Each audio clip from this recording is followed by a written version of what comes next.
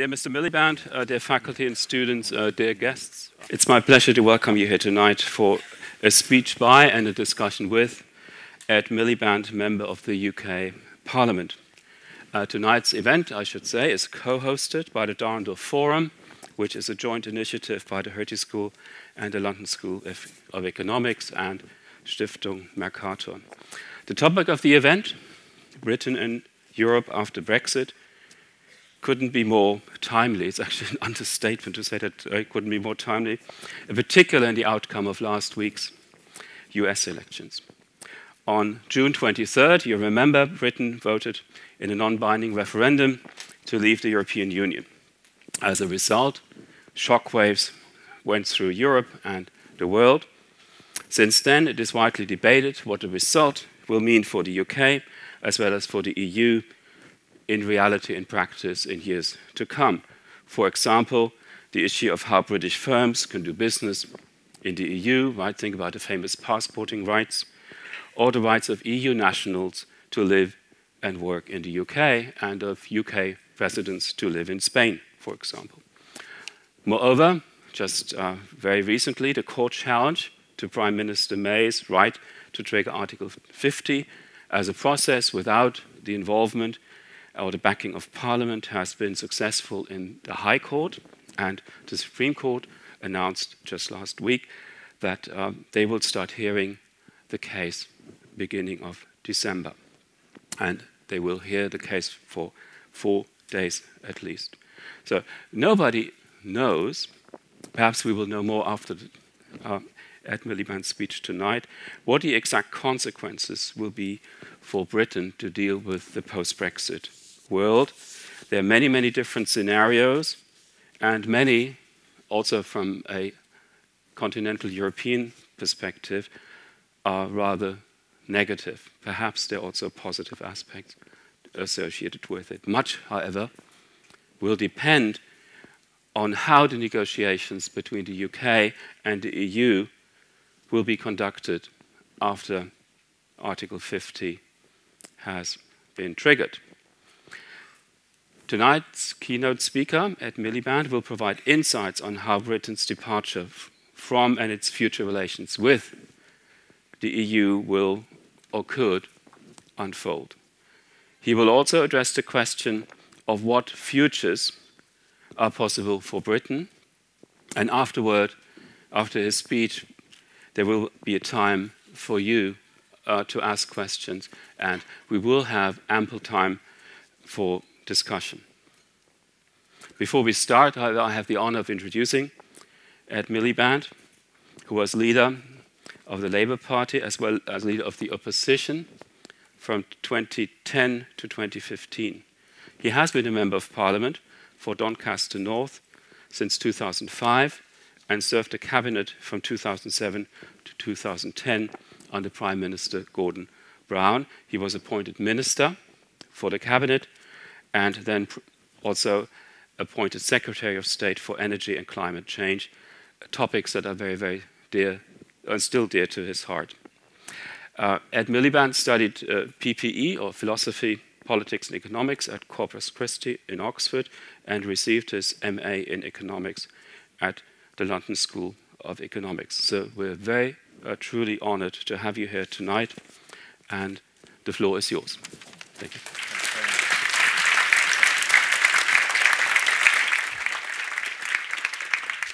Well, Helmut, thank you very much. And can I say that it is a huge pleasure and an honor to have the chance to speak to you here in this fantastic uh, city. Uh, and also, I want to pay tribute to the Hertie School for what it does. I've been hearing uh, about all of the different disciplines that you have here. I've already had the chance to meet some of the students. Uh, what's very striking is that you meet students for whom English is a second language and they tend to speak better English than I do, um, which is a, uh, a common feature that, that we find. But I, am really delighted uh, to be here. And I think we are talking and discussing these profound issues at an incredibly important moment for Europe and indeed an incredibly important moment uh, for the world. I'm also delighted to be here with the Shadow Secretary of State, my colleague uh, who, who's in charge of Labour's approach to Brexit, Keir Starmer. If the questions get very difficult. He'll be answering uh, the, uh, the, the difficult uh, questions. So um, I, I come here as somebody who considers himself proud to be a British citizen, but proud to be a European as well. And I don't believe the two are in contradiction. I'm proud of my heritage, Jewish parents from Belgium and Poland who found refuge in the United Kingdom. And most importantly, for the context of today's lecture, I come here as somebody who wants to build a successful future for Britain, obviously, but a successful future for Europe as well, and that will be very much part of my remarks. Now, the title that Helmut and I agreed upon uh, a few weeks back was Britain and Europe after Brexit. I feel it has to be Britain and Europe after Brexit and Trump, uh, given, given what happened in the United States, and people will no doubt want to ask about that. Let, let me tell you what my argument tonight is going to be. First of all, that we need to understand the deep lessons of Brexit and indeed Trump, because we owe it to the public to do so. And that simply put, this is about a political and economic revolt against a particular form of globalization. And I'll say what I mean by that. Secondly, as far as Brexit goes, we need to get the response right, and that's going to be the main focus of my remarks. That means not denying the result of the referendum, but making the best of it for Britain and for Europe. Britain as a partner of the European Union, outside the European Union, but a partner nonetheless, on the basis of what you might call an amicable separation, not an unhappy divorce. And I'm going to try and explain what that might look like. And I might add that's even more important in the context of Donald Trump's victory last Tuesday. But thirdly, I want to make the case that the lessons from Brexit don't stop at what we do in the negotiations on Brexit. And we'll be making a big, big mistake if we believe that. Because fundamentally, it's about the centre left, my, my wing of politics, but indeed right across politics, facing up to the difficult questions of economics, politics, and nationhood that Brexit, Trump, and what we see around the uh, developed world uh, is throwing up. So that's the outline uh, of my remarks. First, I want to start with the, with the lessons um, of Brexit. Now, until last Tuesday, I think 2016 was destined to be the year of Brexit. I think it's probably destined to be the year of Trump and, um, and Brexit uh, after the results of the presidential election. I think it's fair to say that part of the reaction in some places to what happened on June the 23rd was to think that it was a peculiar British phenomenon. Other countries had imitations of Brexit forces, but nobody would quite follow the British example and kick over the traces in exactly the same way. And indeed, Brexit, there was some evidence of this because Brexit seemed to motivate European publics to like the European Union more, not less. If you looked at support for the EU, it went up actually in uh, other European countries after Brexit happened. But clearly, the idea of British exceptionalism changed in the early hours of Wednesday morning as the reality of President Trump dawned. It went from being a headline in The Onion uh, to being a uh, reality. Um, so we understand now that this is not a trend confined to Britain alone. And for all industrialized countries, I think Brexit and Trump serve as a warning that this is a storm that could well be coming to an election or a referendum near you uh, or in your country at some point. But why? Why did it happen?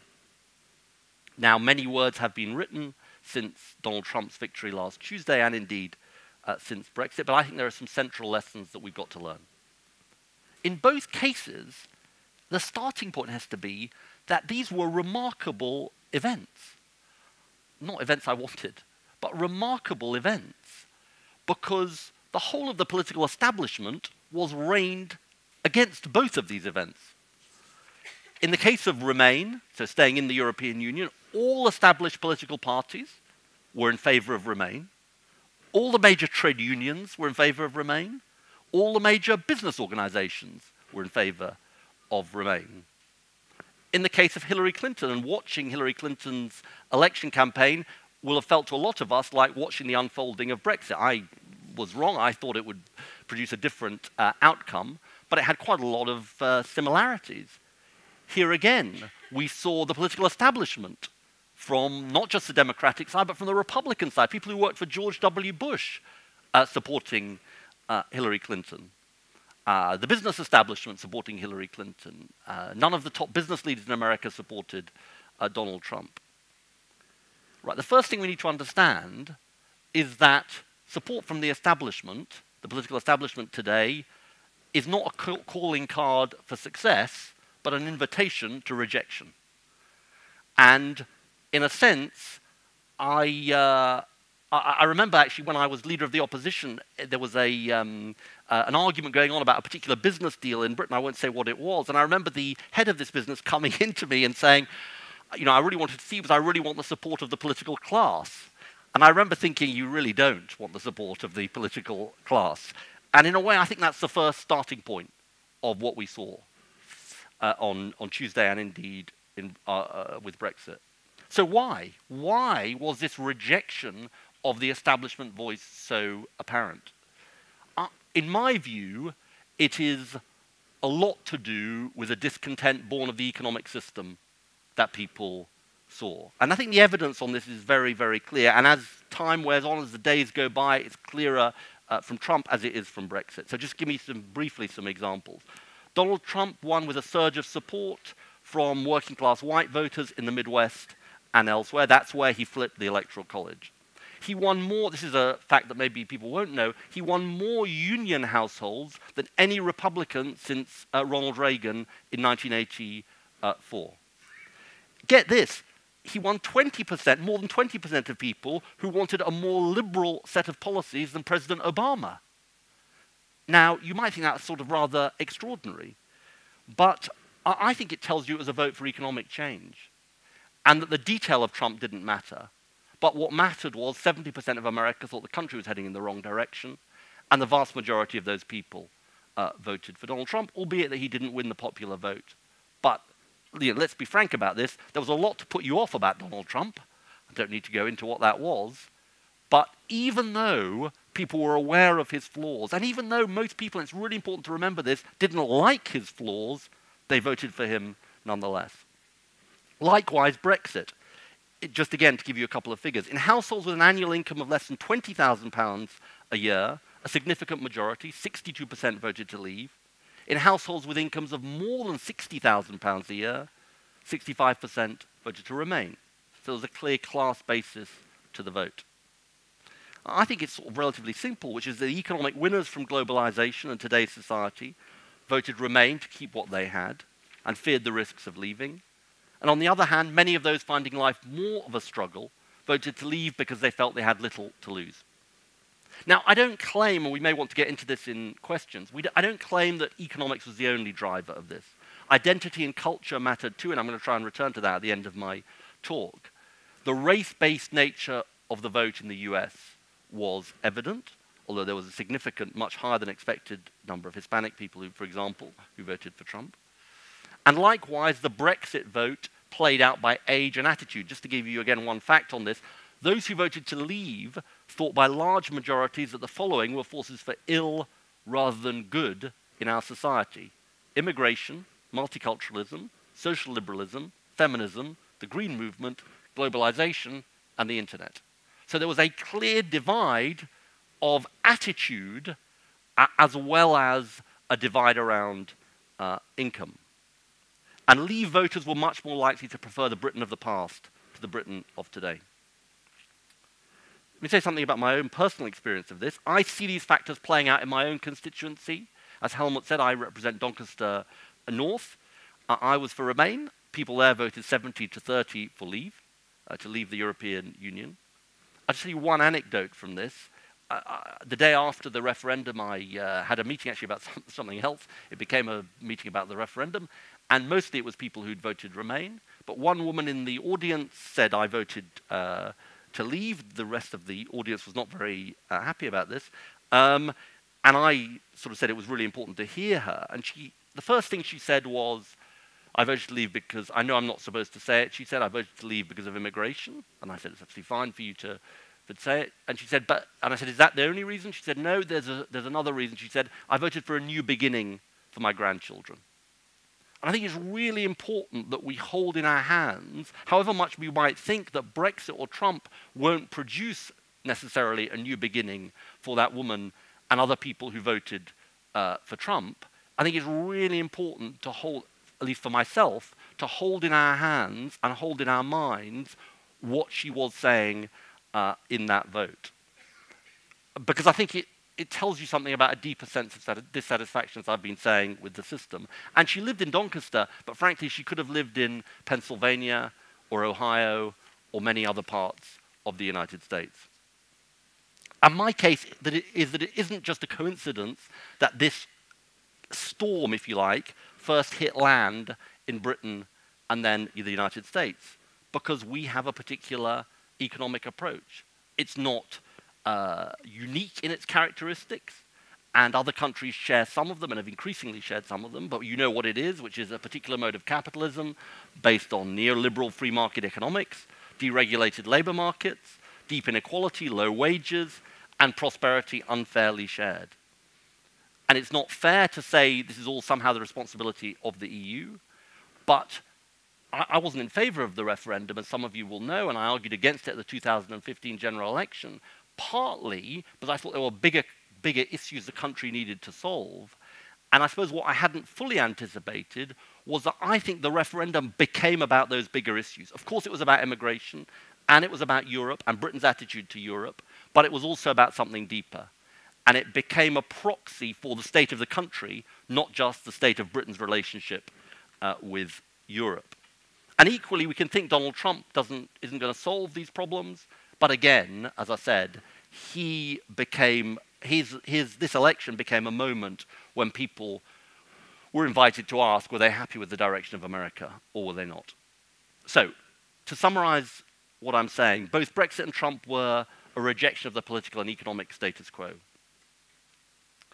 Next, I want to turn to what the response should be in the case of Britain uh, and Europe, and in particular how we should handle Brexit. Two parts to this how we see the future for Britain and the EU post Brexit, and what the wider lessons are for Britain and, uh, dare I say it, for uh, other countries as well. Now, clearly, the most pressing issue is how to handle the Brexit negotiations and what outcome we should seek. We were talking with a couple of the uh, journalists from the uh, newspaper here uh, earlier on, and I think I was sort of disappointing at least one of them, um, although journalists are obviously objective, um, by, uh, by saying that my starting point is the referendum needs to be respected. It was a very close result, 52% to 48%. The Leave campaign was pretty disreputable. They made false promises uh, to people.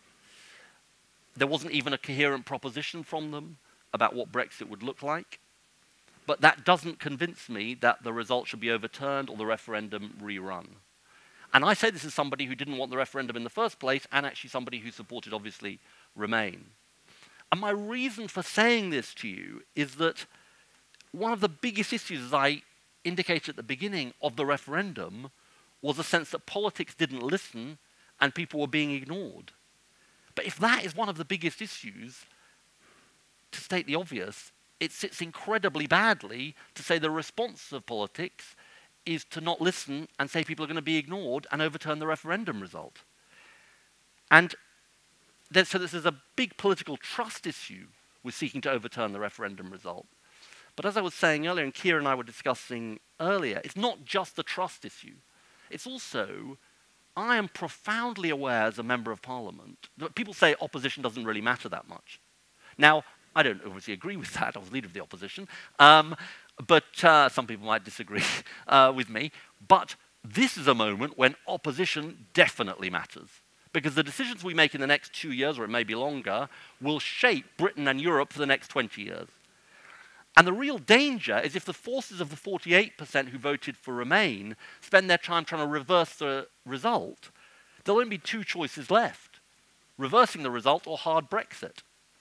And hard Brexit, and I'll explain what I mean by hard Brexit, in those circumstances, hard Brexit's going to win.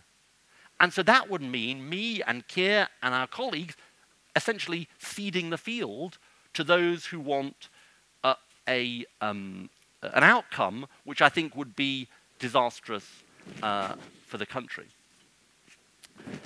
And what's really important to say is that there is a mandate, I think, for Brexit because the referendum happened and had the result it did, but there's no mandate for the particular form that Brexit takes.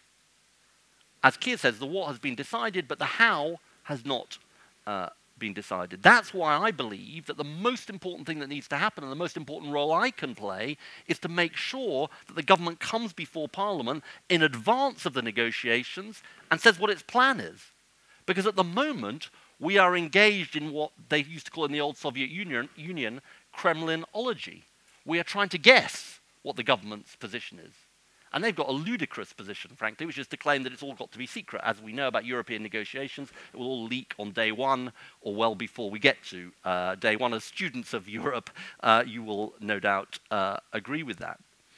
And, and you know, there's obviously been a lot of coverage of Article 50 and so on. For me, that's not the main issue. The main issue is to get the government to come with a plan to Parliament. Now, why do I think that's so important? because I don't believe that hard Brexit, which at least some people in the government want, should be the basis of the plan. What is hard Brexit? Because there's a lot of jargon bandied about uh, around this. I, I, think we can sort of have a sketch of what hard Brexit looks like because we know from some of the um, people in the government who uh, were on the leave side, uh, who I'm obviously going to be very polite about, um, uh, that uh, what, what their fantasy is. They think Britain should be well outside the single market and the customs union. They want to downgrade our economic relationship with Europe because they think, completely wrongly in my view, that we can make up for it somehow with trade deals with the United States, India, Donald Trump, uh, India, uh, and, uh, and so on. They are phobic about any role for the European Court of Justice. They are deeply skeptical of big strategic engagement with Europe on defense, foreign policy, and climate. And they think somehow there is a future for Britain as an isolated, sort of deregulated offshore Hong Kong. Um, now, it doesn't sound that attractive uh, uh, to me. And actually, when you put it in those terms, you think, well, we certainly don't want that outcome. I think it'll be a disaster uh, for Britain. Economically, because it would mean tariffs, penalties, and bureaucratic uh, barriers to doing business for our largest trading area. And by the way, this nonsense that it can all be made up for by the United States is indeed complete nonsense because even the uh, Treasury study, which looked at the TTIP, so the uh, transatlantic trade partnership that was being proposed, said the maximum benefit to Britain in the long term of uh, that uh, deal was 0.3% of GDP, which pales into insignificance compared to what we would lose from being outside uh, the, the, the, sort of benefits of the single market uh, and the customs union. And, and of course, Europe, three times bigger in terms of our trade, approximately, than our trade with the United States. So it would be disastrous economically and strategically. And this is a really important point. And here I actually agree with David Cameron. He said something during the referendum campaign which is completely right, which is that the Leavers were peddling the illusion of sovereignty. Well, why is it an illusion? Well, because if you cut yourself off from cooperation with Europe on climate change, foreign policy, and all of these other incredible crime and justice and home affairs, then you're going to be less powerful over the things that matter to you, not more powerful. Take the example of climate change, because I was the climate change secretary in the last Labour government. Britain is 1% of global emissions, Europe is 10%. We negotiate as part of the European bubble for climate change. Take it from me, we are more powerful and have more influence uh, negotiating and partnering with Europe uh, than uh, not doing so. And the notion that on our own somehow we're going to be influential on, on climate change is just wrong. We're going to be outside the room uh, when the big decisions are being uh, made. And, and I would also make another point, which is the other problem with this hard, destructive Brexit. It is not just about the economics, which is important, or the strategic alliances, which is important. It's also about what kind of world you want. We want a world based on decent values of human rights, democracy, the rule of law, solidarity, not very Trumpite values, I would uh, suggest. And we can't achieve these values uh, alone as one country, and we're stronger working in partnership with Europe uh, than uh, not doing so. So that's why I believe that hard Brexit would be bad for Britain. But I also believe, and this is a really important point, and this is partly why we're here, it will be bad for Europe too. And I think this is, this is a profound point about the British attitude to diplomacy and negotiations. What has been the, one of the biggest problems is that we've come along and we've said, this is what we care about, this is what's good for Britain. Now, of course, as a leader of a country, or as a leader of a negotiating team for a particular country, you've got to say what's good for your country. But we should be arguing for the benefits for Europe as well as the arguments for Britain because our fates are intertwined. And you know, if I had one piece of advice, not that they'll come and consult me uh, for this government about how they should approach these negotiations, it's that they should be making the case for Britain and for Europe. And that's really the basis of what I want to uh, suggest to you. Now, why is hard Brexit bad uh, for Europe. Because some people are going to say, well, whatever Britain's interests are, and we know lots about what Britain's interests are, or what I say they are, Europe can't afford to give us a good deal, uh, which preserves these strong trading and strategic relationships. You hear this a lot. The Trump victory makes it even more uh, of an issue, some people might say. If Britain gets an easy ride, lots of others are going to want to follow. The stampede to the exit uh, door. And you can see the short-term uh, reasons, tactical electoral reasons, why in a number of countries that is our big uh, concern and a big issue that people are raising. But I do ask you to think, how true is it exactly, this argument? Because, first of all, as I said earlier, support for Europe and the EU has actually risen, as far as I know, in all continental European countries, uh, not fallen since Brexit, which suggests that there hasn't been this stampede uh, to the exit door. And secondly, look, whatever deal we negotiate outside the European Union, there are privileges that come from being inside the EU, having a seat at the table, essentially, which aren't going to be available to Britain, I fear. I mean, whatever arrangement we're talking about, it's going to be a very different relationship and a much, much looser, uh, you know, a qualitatively different kind of relationship.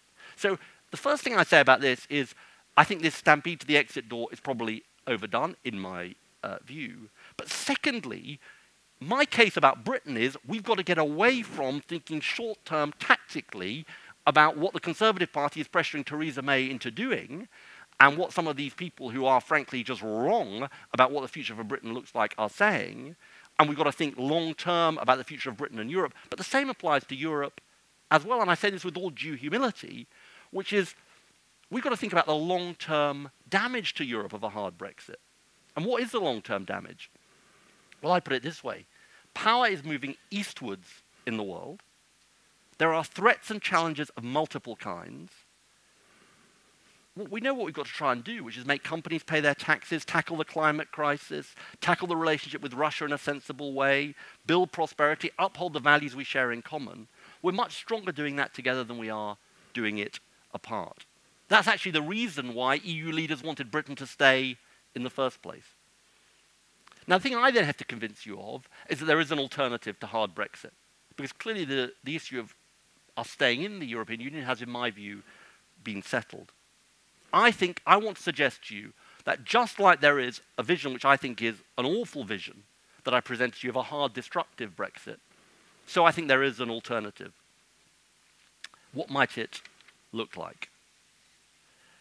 I think the, the, the, the thing to say about this is that we've got to design a structure for what Britain's future would look like, which isn't just about the British problem, the Brexit issue. I think we have to think bigger than that about what the future of Europe looks like. And there's been a paper published actually with a, uh, one of the authors is Norbert Röttgen, who's the chair of the Bundestag Foreign Affairs Committee You'll be familiar uh, to you, which is one way of thinking about this. Now, there'll be people who disagree with some aspects of this proposal for reasons I understand, but I think the reason I cite the paper is because I think it's actually very instructive in the way of thinking about this. And at its heart, this paper says that we think about, need to think about a new, what they call a circle of cooperation outside the European Union. So think about it like this. At the moment, you've got two circles within the European Union. You've essentially got those in the euro, and obviously EU members, And then you've got those outside the euro uh, who are nevertheless uh, within the European Union. And that's obviously the status of the 27, one or the other. This proposal says, look, we've got to think more broadly now about what the future of Europe looks like and out, a third circle of cooperation outside the European Union. So firmly outside the EU, but cooperating with the EU. That's what the authors call a continental uh, partnership. What are the elements of this? Strong trading relationships, which emulate as closely as possible the arrangements of the single market and the customs union. Why is that important? Tariff-free trade, selling services without penalty. And strong strategic intergovernmental cooperation in the key areas that we need from climate change to crime and terrorism to foreign policy to climate change. Now, the authors say that within this circle of cooperation, this is the controversial part, there could be the ability to vary rules on free movement of labor. And that clearly gets to an issue that is going to be at the heart of these negotiations, which is how to reconcile the undoubted demand in the UK to have variance on free movement and the European defense of the so-called four, four freedoms. And some people think this paper looks like a very British solution. But I think there's a point here, which is I think it can help address a European problem. And, and this is why. The problem is that enlargement is essentially blocked, in part because of worries about freedom of movement. By establishing a different new form of partnership, there is an argument that this could help unblock that process. In other words, this wider circle of cooperation outside the EU could be not just about the UK, but other countries as well.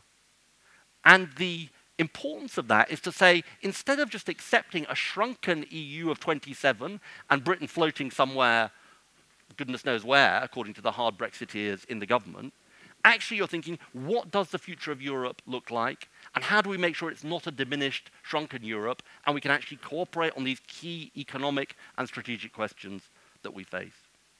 Now, it's really hard to get this, and it's maybe very hard to get it uh, in two years. But I do think it's worth fighting for. Because whatever the arguments about the detail, the concept must surely be right, which is that we don't simply accept that the debate about European cooperation with Britain is settled, because it isn't. The, the issue about EU membership is settled. But how we exit the European Union and what form it takes, I think is very much up for grabs, and it's in all our interests, Britain and Europe, to work together. And I hope that we can work together with European partners uh, on this basis.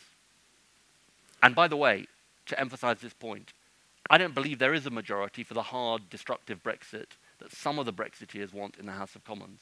And that's what's going to be tested in the coming months. So I've talked at some length about what we should seek from the negotiations.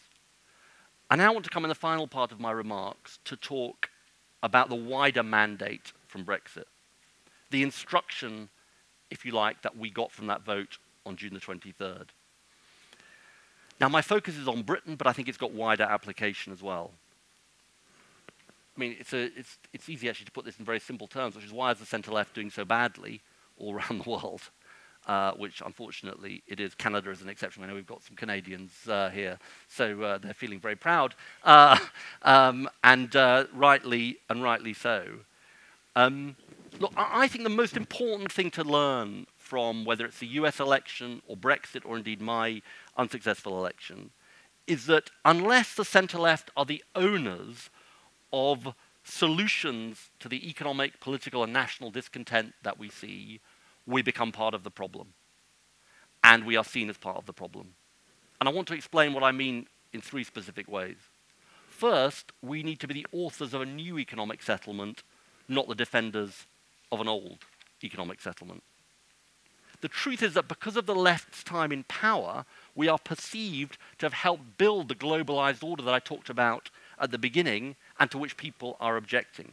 Now, of course, people on the left say, and people say this to me in Britain all the time, look, how, you're not saying, are you, that a Labour government is the same as a Conservative government? And of course I'm not. And of course, what we did was very different, and what we would have done is very different, and a Hillary Clinton presidency would have been very different from a Donald Trump presidency. But the reality is that part of this globalized order that people are objecting to is something that they hold us on the center left responsible to for sometimes as much as the centre right. Now, what is the solution to this? If I knew the exact solution, I would clearly be Prime Minister rather than uh, uh, uh, not. Um, but uh, I think you've got to be less incremental and less managerial. And I think you have to have bigger solutions to the crisis that people see. If I'm being self critical, we had good analysis of the scale of the problem that the country faced inequality, deregulation, wages stuck, chance of the next generation getting worse, but inadequate not big enough solutions. And whatever you say about Trump or Brexit, they offer big solutions, wrong solutions uh, in terms of uh, the, the, the, solution that is offered. I actually, didn't, didn't support either of them, but, but they offer big solutions. Now, the answer is not to come up with false gods of our own, but it is to have a scale of response on wages, on jobs, on public services, which is equal to the challenge. We can get into in discussion some of the things that that might include. Secondly, second lesson, we can't shy away from the fact that Brexit and Trump are not just a consequence of economics, but also the politics of identity as well. Now, economic discontent and this kind of identity politics that Trump tried to capitalize on are definitely linked. It's easier to sow concern uh, about immigration and race if people are economically discontented. But I think that doesn't mean that we should sort of ignore these questions of, of, of national identity and, and, if you like, national uh, vision.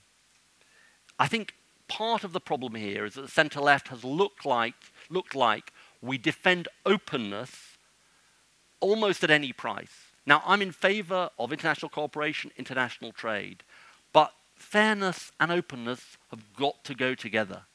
And, and in a way, we always used to argue, look, we need to be more open because that's the only way you build prosperity and fairness. But in some sense, we forgot the other lesson, which is unless that you are fair, unless people have confidence about their society and their place in it, then all of the drive will be to less openness and to close the borders and, and all of that. And so I think it's about capturing that vision of the two uh, together. And indeed, the first, fairness, uh, has to be uh, non negotiable. That's the second lesson. Third, alongside this, and again, this is sort of self critical, we can't be the political insiders, comfortable with the way politics works. Pol- people see politics as broken, as I indicated at the beginning. That's why there was a revolt against the elites in terms of these two, uh, in terms of Brexit and Trump. And therefore, we have to be the people who are, and I, and I believe this, we have to be the people who say we're going to change the way politics works. And it's going to have different manifestations in different countries. In America, it's about the role of big money uh, in politics. In Britain, it's also partly about people's perceptions of the influence of money on politics, but I think it's about the role of big, powerful vested interests uh, in determining uh, political outcomes as well. The only way out of this bind that the centre left finds itself in is to show that one way or another we're about changing the way the system works because people see it as a rigged system rigged against them. And unless we are, as I say, part of the solution, we will be part of the problem. So there are three observations which, as I said, we can develop in discussion about how we need to respond. Let, let me conclude by going back to the broader context. I, I was talking to one of the uh, lecturers uh, here earlier on who said that understandably people were uh, pretty gloomy after Tuesday. Uh, and I understand why lots of people will have felt that because of the values that they care about. Lots of people in Britain were pretty gloomy uh, after Brexit, and I was pretty gloomy after the general election of 2015. I think there's a really important point, though, about this, which I think we've got to hold on to, those of us who think we need to chart a different course, which is absolutely, I understand why people are fearful, particularly after what happened uh, on Tuesday. But it's incredibly important that these dark times don't drive us to despair or indeed to dismissal of the people who voted as they did. 17 million people who voted for Brexit, I tell you, you know, it's totally wrong to typecast those people as all somehow prejudiced. 60 million people didn't vote for Trump out of prejudice either. And part of it is to get to this, these depths of feeling that people have and these depths of discontent and to answer them. And the other thing I'd say is this, which is out of this crisis comes not just an obligation for my part of politics to answer these problems, but also an opportunity. The truth is, it's out of the darkest times that some of the greatest achievements of the centre left have come, the post uh, war welfare state, uh, for example. And so I say this particularly to the students um, uh, who are here. I think there's a huge opportunity for, for all of you. I think if you're interested in public policy, if you're interested in shaping the future, you know, the script has got to be written for the next 10 or 15 years. I don't believe that in the end the values of Donald Trump are going to prevail. But I, I think the, the, the best way we can stop them prevailing is by answering the deep concerns um, that people have. And I think that is a task for academics. I think it's a task for policymakers. I think it's a task for politicians a little bit as well. Thank you very much.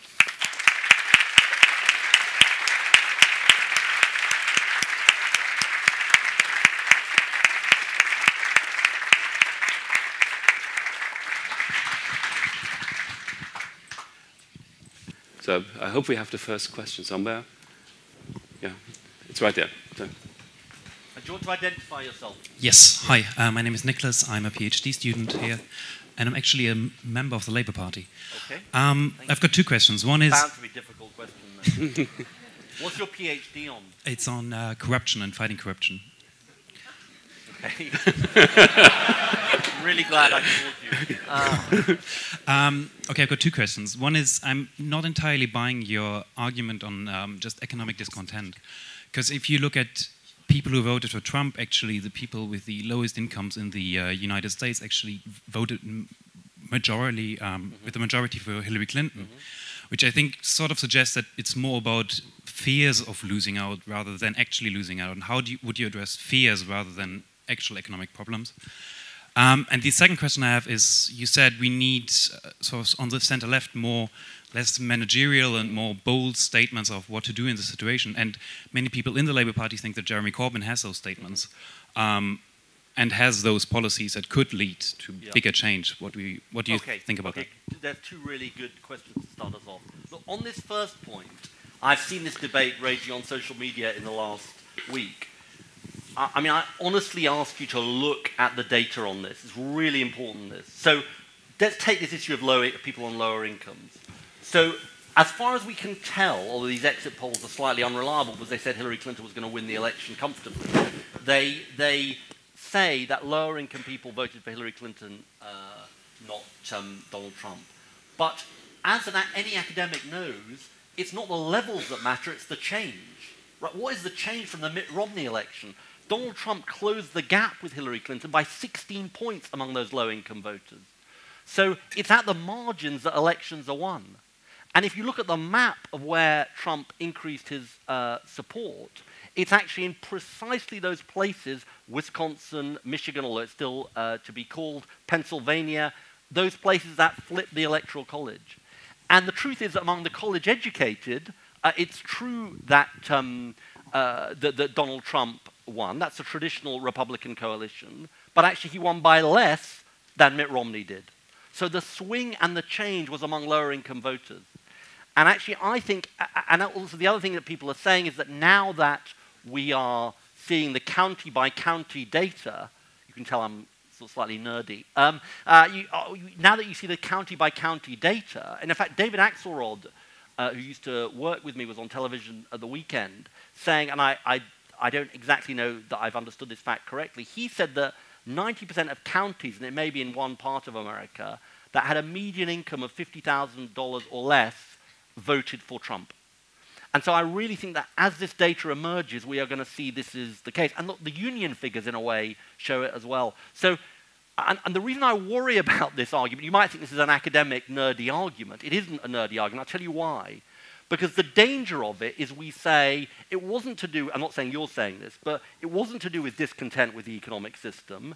It's because people are either prejudiced and they've got to be convinced that the future's open, not closed. You hear this around a lot. The future of, the, of politics is not, uh, is not left versus right, it's open versus closed. I think it's nonsense. I honestly do. Because I think anybody looking at this, of course, open versus closed is an issue, but I think you've got to look at what the data is actually telling you about why people uh, left. And look, you know, for 40 years, the median American worker hasn't had a pay rise. I'm not surprised they're annoyed. So that's the first thing. Uh, secondly, on Jeremy, I think Jeremy has got a big opportunity. I think you're right about this. I mean, what you didn't say, which I think is also true, is that I said that part of the problem is being the political insider. He is not the political insider. I mean, in a way, he gives the lie to the idea that if you spent a long time in Parliament, you're the political insider. No one would describe Jeremy as the political establishment, not, not, not him or, or anybody else. And so, in a way, that is his opportunity. And, and you know, yes, I think part of the challenge is to, to, to have a, the scale of solution um, uh, that can answer it. And, and in a way, you know, that's what I want to uh, support him in, in, in doing. Yeah.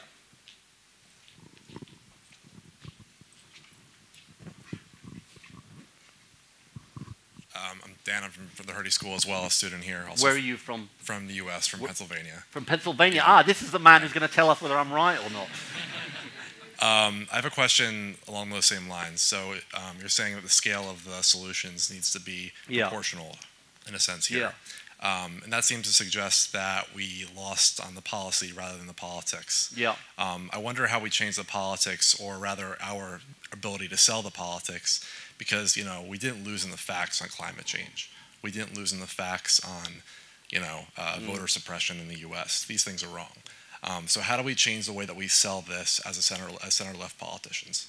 I'm not evading your question, but I will answer it, but just because it wouldn't be fair to not give you a chance. Says, what's, whereabouts in Pennsylvania are you from? I'm from Scranton, Pennsylvania. From Scranton, Pennsylvania. yes, I'm from the center of the madness. Yeah. So, so go on, tell us. I mean, this is Scranton, Pennsylvania is incredible. It's where Joe Biden is from, correct? Yes. And it's a really important sort of uh, bellwether of all this. Mm-hmm. So go on, tell us about Scranton. Um, I think that it's not very surprising for me either, seeing the way this. I mean, I was surprised. However, it's not very surprising when you're from this area to see the way these things went as well. Go on, say a little bit about what you mean by that.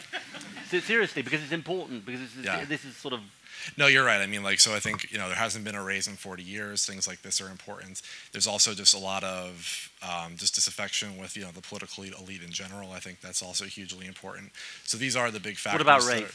Sorry. What about race? I mean, in other words, that's one competing explanation. The other explanation is sort of race. Yeah, absolutely. These are hugely like you know insular areas, and they're not very diverse. Um, so race is a huge um, has a huge you know role to play there. I think there's been a lot written about that. People smarter than myself who who also agree. But I think um, I think just the way these things are sold again is the really important thing because you know all that being said, the fact that I am from that area, I still know that we're you know not wrong on the facts here. You know, climate change still isn't a hoax. All these things. So I think uh, the way these things are being Yeah. sold, and the fact that you do see union voters, particularly, voting in such strong droves for Trump or for Brexit or for some of these things, is particularly alarming because in the facts, these things are you know the antithesis of what these people should be voting for. What was your name, sorry? Dan Murphy. Dan. Yeah. God, Dan, that is, I mean, that is really, that's much better than my talk. I mean, honestly, that is, that, that is like really important what you say because you're actually from, you know, this is the heart of this. Um, so uh, on your question, so look, this is something I'm not very good at, and, and so in a way, it's again, it's slightly self-critical. You know, what is the tendency of the answer of the centre left? It's why didn't they vote for us? I had a very good 28-point program. And in a way, I mean, probably that's me too, actually. Um, and in a way, look, there are two campaigns. There's the campaign of the people who are the insiders who are following the 28 point program. And, and in a way, this is why Washington got it so wrong, I think, and this is why Westminster got it so wrong. Because people say, oh, have you seen the latest about the Trump tape? Have you seen the latest about, you know, this latest outrage of what he's done? And that's not what people are thinking about. And that's not even what they're following. There's a journalist called John Harris who you should look up who wrote a lot about Brexit. And, he, and I know him a bit. And he would always say to me during the campaign, listen, you think it's about Michael Gove and Boris Johnson. People don't give two hoots for Michael Gove and Boris Johnson. They're just basically making a gut view about are you solving my problems or are you not? And, you know, you had David Cameron saying, you've got all these, it's really going to be terrible if we leave the European Union because you've got all these things you're going to lose. And they're like, mm, I don't think so. Uh, I don't feel I've got that much to lose. And I fear that the Trump thing is a bit like that. So, so look, in a way, I'm not trying to contradict what I said because I think, I think, I think every aspect of the approach has got to scream, we're, to, we're for, we, we share your anger. We share your anger at a system that hasn't given you a raise in 40 years. We share your anger at a system where you feel your kids are going to have a worse life than you. You know, we share your anger that the top 1% are doing fine, thank you very much, uh, and all these things are happening to you. So, so in a sense, it's got to be about emotion, and it's got, it's got to have the program to back it up as well. And people judge you on a number of things: the scale of the solution, what are the fights that you're picking, and, all of that. And in a way, the, the policy point, you know, where I succeeded was when I picked fights that said something about whose side I was on. And I think that is the thing that I think is, uh, is important. Yes, lady there. Thank you. Um, my name's Jenny. I'm from Gloucestershire in the right. UK. Um, we won't only have questions from English people. I, uh, I promise. promise. Um, I'm a student here in Berlin, and as a student of French literature, I don't think I'm particularly qualified to comment on American politics. Um, but what strikes me as post-Brexit, and perhaps as a parallel um, that we're seeing in America at the moment, is that there was an enormous amount of U-turns or maybe kind of admitting that promises that were made during the campaign yeah. weren't particularly realistic. So you think of Nigel Farage and yeah. the enormous amount of money to go to yeah. the NHS. Um, and what I'd like to ask you is if you have any predictions for the Trump and now it's already happening with Trump, isn't it? Exactly. And therefore, my question Good what question. are your predictions for the Trump um, good, presidency? Good, good question. I, I, think Nigel Farage has more insights than me, but uh, I'll do my best. Uh, who, right, I'm going to take another couple in this round so we get more people uh, in. Uh, uh, two people on the, on the row uh, here. Hi, my name is Amy. I'm from Canada, which is apparently doing fine uh, while I'm over here. Uh, and I want to know what you think a program that would foster dialogue between people who don't agree with each other would look like in a country like um, England, uh, Germany, etc., United States, so that you can actually connect with and understand and solve these problems, uh, and and what that would look like if you could design that. What would you say it should look like? Well, I read an article in the Canadian Globe and Mail today about de radicalizing white extremism. And I guess, I mean, people have been putting up these programs for de radicalizing various groups recently. And I, and I wonder if that model is, you know, sort of patronizing and strange, or, you know, if that, or how, how do you do that? Well, certainly put like that. It is, I mean, maybe slightly, but I don't mean for you, but from the Globe right. and Mail. What was your name, sorry? I'm Amy. Amy. Thanks, Amy. Yeah. And then along the row? Hi, I'm Louisa. I'm German. Um, I wonder what the benefit of this continental partnership is compared to the EEA, because it sounds to me just like access to the single market without free movement of labor. So. okay. Uh, I'm really glad I called you. Uh, uh, um, right. Let me. Um, so Jenny's question. So the single best comment that was made about the American election, I think, was this person who said the problem about this election is that the journalists took Trump literally but not seriously, and the voters took him seriously but not literally. And it was such a smart comment. Now, and it goes to this point about emotion. So the journalists will say, Can you believe it? He's saying he's going to build this wall. How's he going to build this wall? But there's mountains and rivers, and it's not really going to work. And, you know, it surely doesn't add up. Um, but he's obviously not going to win. Uh, while the voters were saying, Yeah, he wants to do something about immigration. And so, uh, look, I don't think he's going to carry through uh, his promises. Um, I mean, he's already showing signs of sort of saying, well, yeah, I, I said a wall, I meant a fence. Um, you know, uh, kind of maybe. Um, but, but in a way, I think, I think now, you might think that's just terrible, and, and I sort of understand that. And I'm not saying the left should somehow try and emulate, um, emulate him, but I think that's the point. And look, I think in a way, partly what Keir's doing, what others are doing, is we, we should hold people to account for the promises they make. Personally, I think the bigger issue is that even though people took him uh, uh, seriously but not literally, he's not going to deliver on what he seriously said to them. I mean, maybe on infrastructure, he'll deliver for them. But I mean, a big laissez-faire, let's cut taxes at the top thing, you know, that's partly what got us into the mess in the first place. So I actually think that the, the ground, I mean, it's not for me to say, but I think the ground on which he needs to be fought is obviously if he resiles from his promises.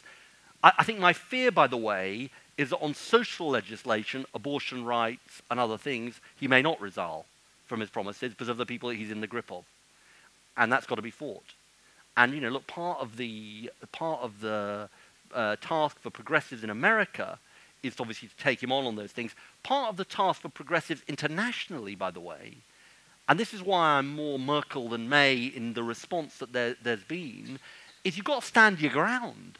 I mean, if this guy's going to get trying to get out of the climate change, uh, the Paris Climate Change Agreement, which, by the way, I think he can't get out of, uh, at least not in the short term, you know, he's got to be stood up to. And people are say, sorry, that's not acceptable for you to try and get out of the, the Paris Agreement. It's been signed, it's been agreed internationally. I'm sorry, it's not acceptable for you to get out of it. So I think, look, I'm not diminishing what he's going to try and do. I, I think just there was a point I want to make about his the argument he made in the campaign. Um, but I mean, he's got to be held to account domestically by the United States and internationally by us in Europe. That's another reason why a strong partnership uh, is essential. Amy, your question is something I'm thinking about, actually, so I'd like your advice. Uh, I'm thinking about it in relation to my constituency. Funnily enough, I was in a school in my constituency on Friday, and I'm trying to do potentially a project on this. And what was very striking is, you know, eh, I'd say of 60 or 70, 16, uh, 16 to 18 year olds, I'd say 90% were for Remain. And they were pretty annoyed at their parents, uh, many of whom had voted for Leave. And, and so, in a way, I think, yes, and I think we've sort of failed, but, but, but, but look, isn't part of the issue here divided societies? Now, part of it is generational divide, but I think it's very hard to sort of, um, how do I put this? Have a program which addresses something which is, this is not about a program. This is about the way your society is organized and the fact that people are incredibly divided. And some people feel cut out of opportunity and some people don't. Now, part of it is obviously generational, that's slightly different. But I think, so, so I think, I think it is definitely worth engaging in, but I think it's also about the deeper structural change to the kind of division that there is. Then on the, uh, Louisa's question, um, really smart uh, question. So here's um, here's my answer. Um, there's some truth in what you say. Uh, Britain has a dilemma, an issue which it faces, which is how do we resolve what I think was a mandate from the referendum, which is an unhappiness with freedom of movement as it worked, and how do we uh, square the circle with the economic access that Britain wants, but is in Europe's interest. And that's really my point to you. This can either be a British problem, and people can say, well, look, that's, if that's what Britain wants, it's hard Brexit, goodbye. Or we can say, how together do we find a way of addressing this? Everybody has compelling constraints in this. I used to say this in the climate change negotiations. You've got to understand each other's compelling constraints. Britain's compelling constraint is the outcome of this referendum and what people feel. Europe's compelling constraint is not wanting to kind of destroy the 20, you know, the, the EU of the 27. But it's also this issue of the European footprint. And I think, so I think it's partly, I'm, my appeal is partly, we're in a sort of prisoner's dilemma here, which is that we could both end up with a, a scenario, because of these compelling constraints, which is significantly worse for both of us. And we've got to try and find a mutual way out of it. And by the way, just a final thing to say, there's a big spectrum on, in terms of freedom of movement of the kind of changes there could be. You know, there's, there's absolutely no preferential access for Europeans, and there's something very different. And that's what's got to be worked through, not to just think of this and there's only one solution. It's either, it's either on or off. Obviously, there's some extent which, which that's true, but the, the remedies to the issue of freedom of movement are varied. Ah, now everybody wants to ask a question. Okay. Uh, shall I take the four along here? And I'll try and keep my answers briefer. I'm Patricia Springborg from the, a guest professor at the Centre for British Studies, who, by the way, are very jealous. They're hoping for a visit sometime. Right, okay. I'm not British, pro- right. properly speaking, and I was very against Brexit but I would like to take you up again on yeah. this issue of the four freedoms. Yeah. It's always struck me as odd that these four freedoms, which in most textbooks define globalization, the freedom of labor, capital, goods, services, yeah. sometimes they add technology, um, should have been argued so early in 1957 at the Treaty of Rome. Uh, and if this is, as I believe you're right, a revolt against neoliberalism and cartel capitalism and so on, these four freedoms have to be negotiable, especially the freedom of movement, which affects European countries so differentially. Some villages in Poland are completely depopulated. There was an obvious rush to London by the young educator because from the Old East, most of them learn English in schools and uh, they don't have to learn foreign languages and so on. And it wor worries me that the EU seems to consider this non negotiable. I'm on Patricia's side. That was great. Yeah, I agree. Uh, thank you. Yeah. Hi, Laura Daniels. Um, I am also a recovering American. Um, where are you I from, Laura? I'm from New York City, is right. where I voted. I was in D.C. working for the last year, so right. I'm from two out of the three big blue blobs on yeah. the map. Yeah. Um, but uh, also have a lot of family in the red areas, so we can talk about that. But uh, my question for you is you mentioned that you were more keen on Merkel's response than May's, yeah. and that we need to, um, you know, stand up as center left leaders and yeah. make progress in that remark. Um, but I'm wondering how we can do that, especially when um, there's a lot of political vulnerability involved with doing that, particularly when um, comments like Le Pen's really resonate yeah. with the gut and this feeling that um, the people have taken over and they finally have had their way, and this is great. Um, and also, if the answer is to uh, show the people that we know their grievances and we're going to respond to them, that response could very well take much longer than May or late of you know next year when the German elections come up. So, okay, good question. Thank you. And I'll go. And yeah, the gentleman behind.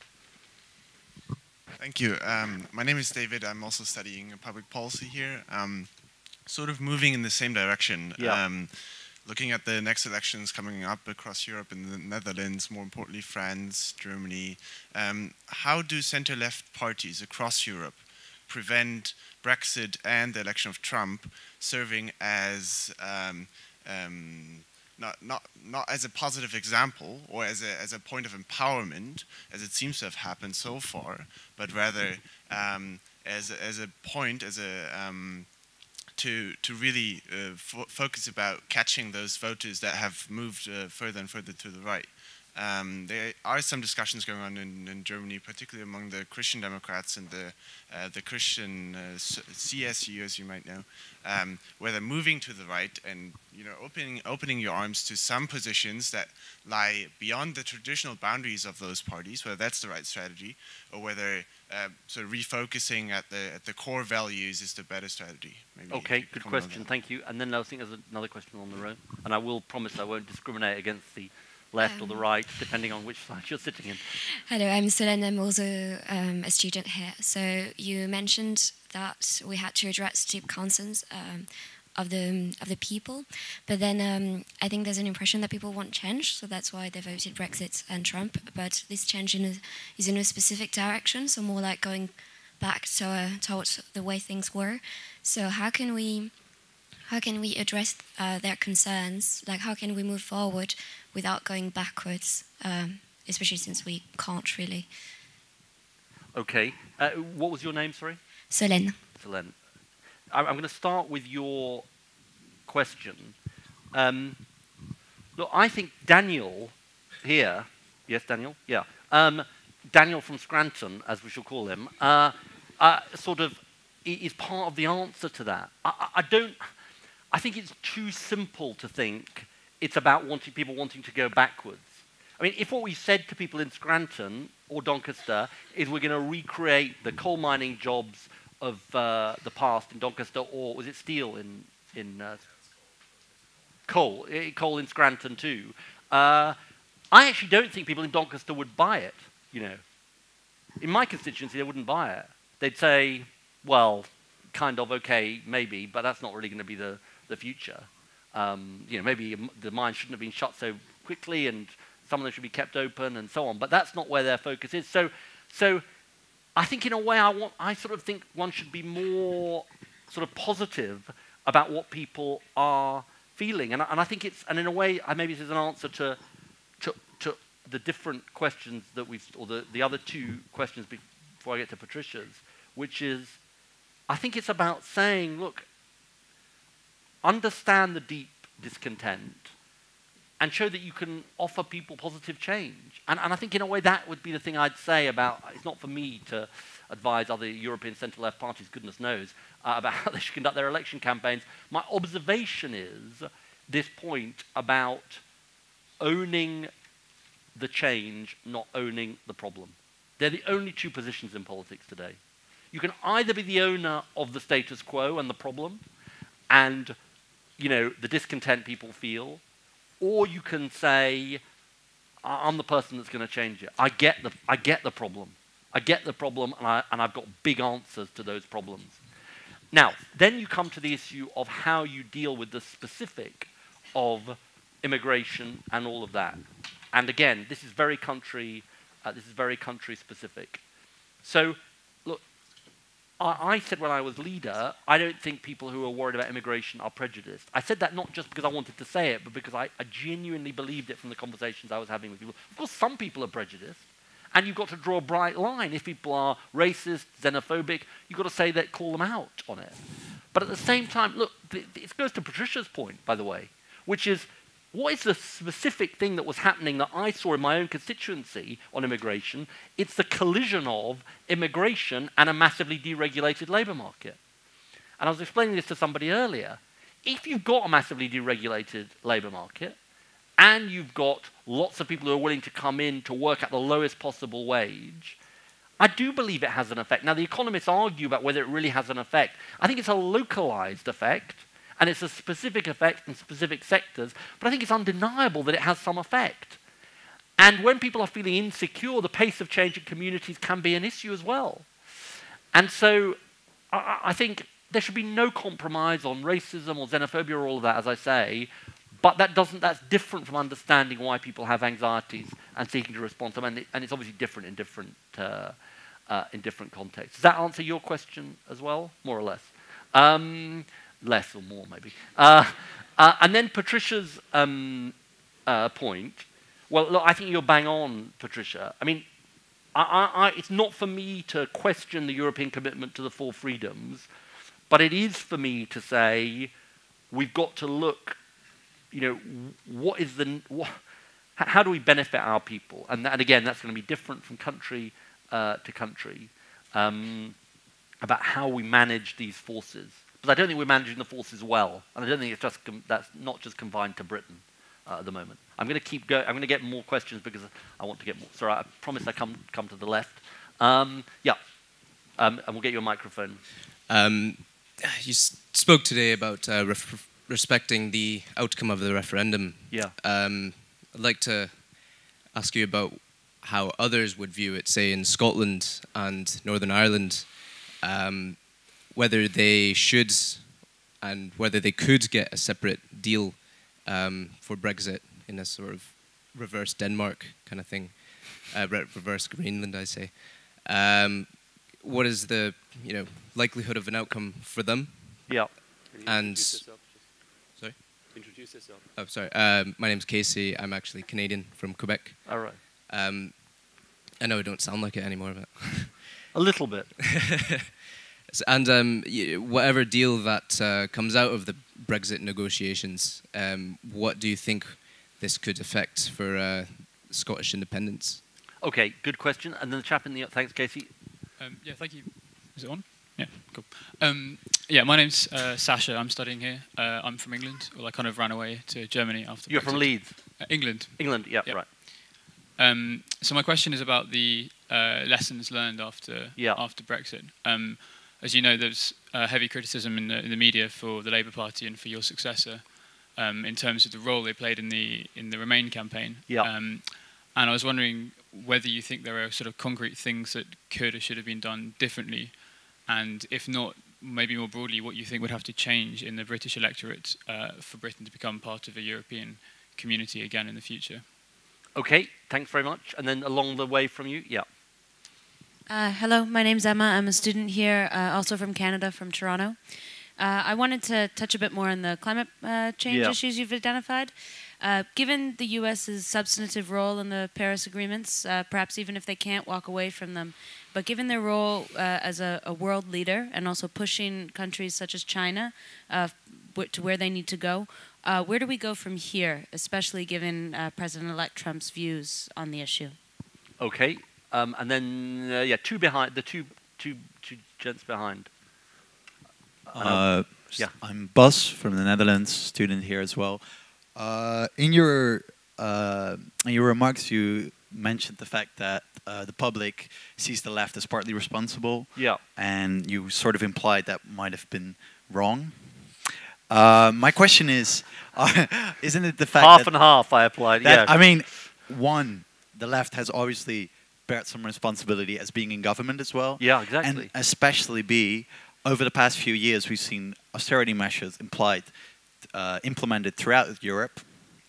Also, many labor governments, leftist governments that supported these measures. Uh, so, A, does the uh, the leftist movement bear responsibility as well? And B, why in 2015 didn't the Labour Party attack the Conservative Party more fiercely on the fact that they are responsible for the exacerbation of the economic crisis after 2008 by implementing austerity measures? Okay, and then next, Uh, yeah. Hi, uh, I'm Yasser, first year MPP student. Firstly, thank you for the very interesting talk. Uh, I have two questions, if you don't mind. Uh, I'm interested when you said that the referendum was a proxy for unaddressed issues. Yeah. I'm wondering what this means about British democracy that when a referendum happens, they have to take such a change to ch- against the status quo, especially under the context of the recent legal ruling, which says that which questions the legality of such a measure. And second, very quickly, when we look, I'm kind of skeptical that how narrow of a margin the win was, because when we look at of, of Donald Trump, when we look at Hillary Clinton, the Democrats got 10 million less votes than 2008 and 5 million less compared to 2012. You partially blamed the lack of big ideas and solutions, but this, in my opinion, recently comes from you know, people outside of the establishment, Sanders, Clinton, Sanders, Corbyn, even even remain even uh, Brexiters and Donald Trump. So how can the center left compete with that, or how can centrist parties compete with that, or should they pivot to the left and move forwards? Thank you. Okay, um, I'm going to try and be quick because I do want to get another uh, round in. I'm going to go in reverse order again. Um, I mean, Yasser, on your question about a referendum, I mean, I, I, I actually went to this uh, conference about uh, uh, referenda the other week, actually in New York, before the election, and it's so clear. This is what referenda all around the world become. They become proxies for other things. You know, it's like the, the, the Brexit referendum, in my view, was like saying a bit, are you happy with the state of the country? Right, now if you had are you, uh, an are you happy with the state of the country referenda in many advanced democracies at the moment, you wouldn't do very well. I mean, it was a unique referendum in the sense that the person calling the referendum was arguing to keep things as they were. I mean, which is a sort of remarkable event as a referendum. And, and also, you know, I think history will look back and say, even though it was lost by not that much, it was sort of, you know, it's a bit like the Trump thing. It's sort of, it could have gone the other way, but it sort of, it was kind of deep, you know, forces uh, pushing it uh, uh, that way. I want to answer you by re- re- uh, respond your other question by responding to Buzz uh, and his uh, question. I, look, I, I want to be clear about this. I, I wasn't just perception. Part of it is reality. We were too relaxed about a certain model of economics, too relaxed about inequality, too relaxed about neoliberalism, too relaxed about free markets, and all of those and all of those uh, things are true. And uh, does it mean there was no difference between the Labour government and Tory government? Of course not. Minimum wage, tax credits, all of the things I could cite. But, uh, you know, uh, you know that, that is completely uh, uh, sort of fair enough. Now, you also asked about 2015, correct? Um, look, I mean, uh, the, your question was why didn't we take the Tories to task more on, the, on what they'd done since 20... I mean, if you want my view, I mean, clearly, you know, uh, lots of things didn't go right, and I take full responsibility for them.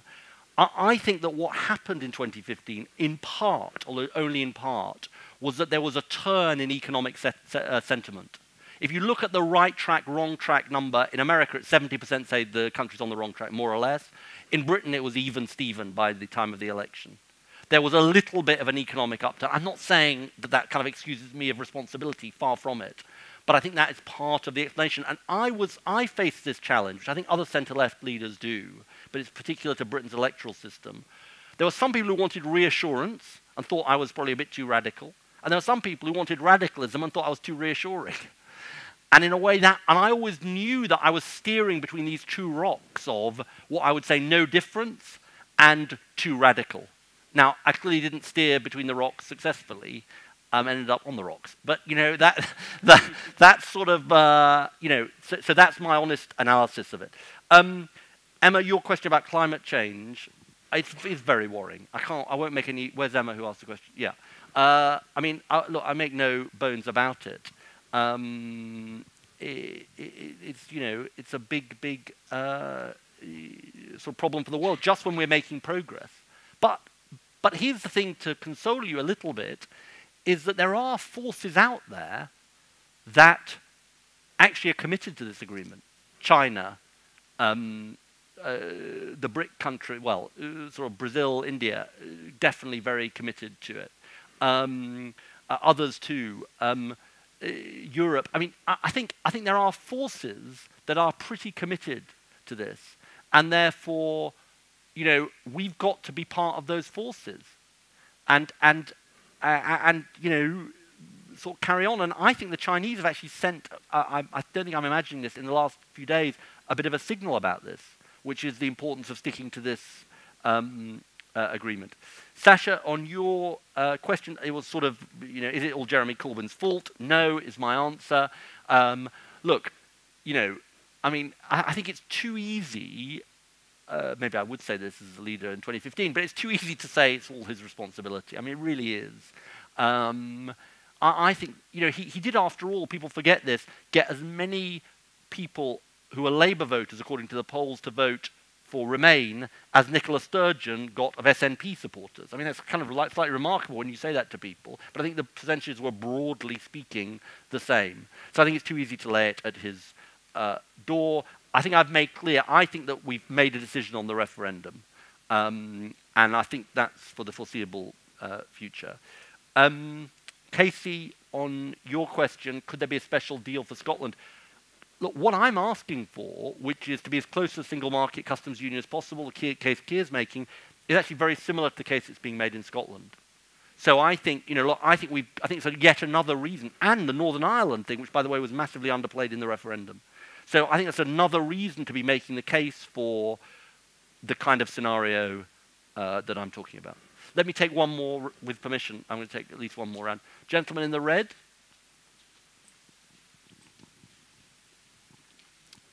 Hello. So my name is Saddam. I'm from Tunisia, and like actually, I have a question regarding the foreign, the British foreign policy towards the Middle East yep. after the Brexit, and especially after the, uh, the, premises of the Trump era. Let's say. Yeah. So that's my question. Is so what are your views? What what what would be the challenges? Do you see any shift in, uh, in okay. that foreign policy? Thank you. Good question. Thank you. Um, yeah, and there's a lady in just a bit. Yeah, two two questions there. Thank you. I had a question on how to do politics in the future uh, oh, because gosh. I think. um, my name is Anna, by the way. Where are um, you from, Anna? Uh, from Germany. Right.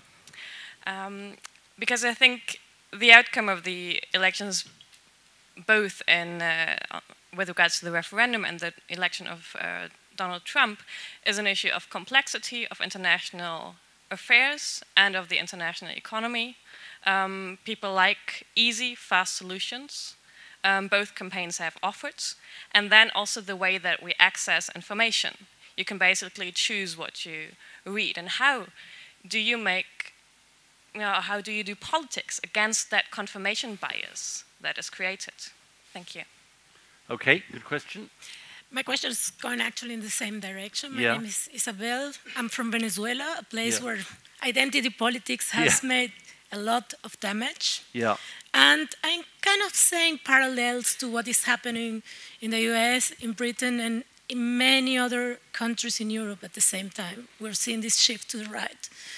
And I'm saying that many of these elections are becoming a question of who is the insider, who is the outsider. And I'm really wondering what is the position of a center-left party in these days? Good question. Okay, and then I think Hi, my name is Luke. I'm uh, from the United States. What's your name, sorry? Luke. Luke, where are you from in the United States? Connecticut. So oh, right, don't okay. blame me. Okay.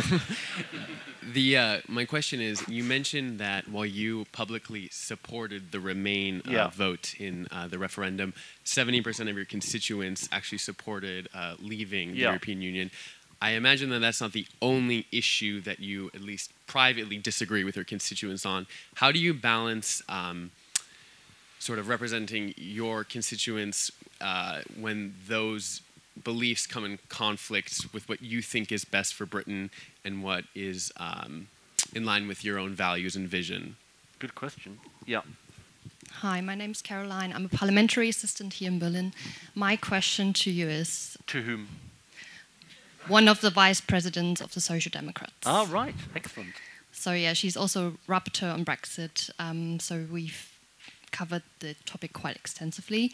And my question now is word on the street has it that there will be general election next year. So, do you think Labour is ready? Do you think Labour has learned the lessons that you just have pointed out in your remarks? Thank you very much.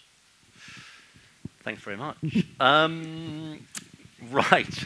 Um, I'll let Keir answer that. No. Uh, um, okay. Um, so, on the uh, first question, I think it is really important, and I'm glad you asked the question, because, um, look, I think it is, just to take one example, there's been a long standing, as you will know, um, decision by the United States not to recognize Jerusalem as the capital of Israel, not to move its embassy there. And uh, Trump is saying he's going to do that um, from Tel Aviv, and that will have all kinds of implications. Um, and, you know, at one and the same time, this is why things are so fluid and unpredictable. At one and the same time, I mean, obviously, don't laugh when I say this. Trump sort of says, "Oh well, I'm just a great deal maker, and you know, there's no bigger deal to be made than the Middle East." Um, he said in his 60 Minutes interview, or something like, that, words to that effect. Now, that doesn't exactly fill me with confidence um, that he's going to like solve the the problem, but you know, I think it's even more to, to answer your question about British foreign policy. It is even more important that we ally ourselves with Europe on these big foreign policy questions because we are going to have to sort of be quite tough on some of these questions and some of these issues. And, you know, I, I, sort of feel that if I'd been Prime Minister, I would be engaging much more on a proper solution to this terrible, long standing conflict in terms of Israel and Palestine. So, so uh, you know, I, I think it's so important that as much as possible, we, we do, you know, carry on with a partnership, albeit outside uh, uh, the European the European Union. And um, you know, I, I, I think that's, that's how I said what I said about um, uh, Angela Merkel. Then on this question about how do we do politics, who asked that? Yeah, how, how do we do politics? You know, I, I'm not in favour of post-truth politics, just for the record. Um, and you know, it, it, in the end, I think it will catch up with those people who have been uh, engaging in it. I, I, suppose, I suppose I do go back to this thing, though, that the thing you learn as a political leader is that people vote with their gut as much as their head. And in a way, I don't think one can just sort of argue people out of that. You know, it's sort of people are people have busy you know, particularly in the economy we have, people have incredibly busy lives doing many other things, and politics floats in and out. Now, so that's one thing I'd say. The other thing I would say, though, which I think is serious for centre-left parties, one of Jeremy's great achievements is this increase in membership. So, you know, nearly tripled his, the membership. But those people have got to, so La Labour is now the biggest political party in, in, in Europe by some distance, uh, over uh, nearly 600,000, uh, from 200,000 actually. Now, those people have got to be used to become part of the fabric of communities, so that politics isn't just practiced by the man or woman on television, but it's practiced by the person in your street and your neighborhood. That's how the Labour Party was founded. It might sound a bit fanciful in today's world, but I don't think it is fanciful, and I think it's absolutely fundamental. Because that is the way in which politics is like in the fabric, not just a consumer choice, and uh, not just a choice that is very kind of up, up for um, grabs. The question from Venezuela, lady from Venezuela about insider outsider, it's absolutely the right uh, question. Um, look, I suppose I'm indicating that there's no reason why centre-left parties should be the should be the in, should be the insiders. I mean, of course, we're hoping to be in government, and being in government makes you, in some sense, an insider. But but I think that doesn't need to infect your psychology about the discontent that uh, Daniel from Scranton uh, identified uh, uh, from us. And in a way, I think that is part of the problem of politics, is that uh, of, of, of, sort of political office, is that you get to see somebody. Somebody once said to me, "There are a thousand good reasons why something can't be done," and you know maybe there's one very good reason why it must be done. And so I think that's part of the thing, the lesson I learned. Uh, Luke, your question. so, so on my constituency, look, there's been a referendum. That's I, I, think I would say this anyway, but you know, I think the, the mandate's got to be honoured. But we're we're representatives. We're not delegates. So you know, I took a view in the referendum. I didn't. You know, I was trying to persuade people in my constituency uh, of my position in part, and they, you know, they hadn't yet voted. But I think they have now taken uh, that position, and I'm uh, going to honour it in what I do. Caroline, I'm not privy to uh, Theresa May's plans um, on the uh, uh, on the um, uh, general election, but I know it's something that Jeremy Corbyn and his team are very um, aware of in terms of the need. I mean, he said this publicly in order in terms of the need to be uh, ready and to be focused uh, and to be focused on that and on that as a possibility. I mean, if I had to hazard a guess, I think probably there won't be, but I, I, I don't know. I, am I'm, I'm, I'm guessing uh, like you, and I'm partly I've taken Theresa May at her word because she said publicly that I think more or less that it's not going to happen, but of course she can change her mind and it's possible um, that she will. Just since that's the last question, I just want to thank you for the um, uh, for the questions. I suppose the the only um, the note I would end on is uh, is this, which is when I answer about post-truth politics and gut and so on, that doesn't, in any sense, that is not in any sense meant to devalue the role of the academy, universities, deep thinking. We need deep thinking in politics. You know, I, I think without deep thinking, you are lost. It can't. Ju- it's not just about superficial uh, slogans, uh, even though at times it might look like it. I do think that if you're going to govern properly, if you're going to change things, if you're going to persuade people, you've got to do the deep thinking, and that's where academic work is incredibly important. And I actually wish there was a closer link between politics and the academy and you know, it's partly the job of politicians to do that, and partly the job of uh, institutions like this. So that's why I think the work you do is very important. Thank you. Thank you so much. Thank you so much.